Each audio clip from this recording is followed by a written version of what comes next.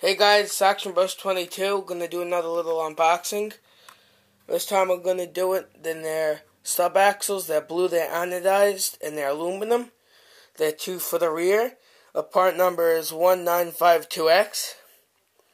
So let's get to it. Let's get the unboxing of it. Um, right here.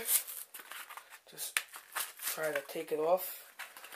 They always pack package it really nicely.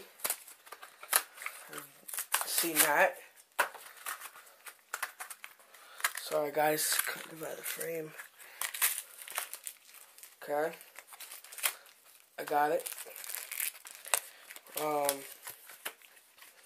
got the little cushions for our aluminum. Sorry guys. Pain in the butt.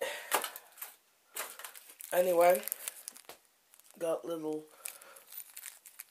screws and stuff just to place them on. And here they are in person.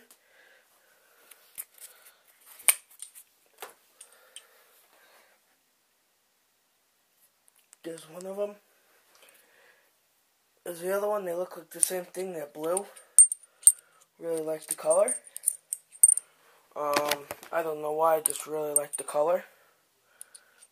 They're really, really stiff. It takes a really hard time to break these. It's pretty thick, the aluminum. Um, ready to bash the crap out of these. Sorry for my language, but I am. But yeah, guys, that's pretty much it. Don't forget to comment and subscribe, guys. I'll leave a, a review for these after I'm done testing them out, and I'll tell you how good they do. Comment and subscribe, guys. Thanks.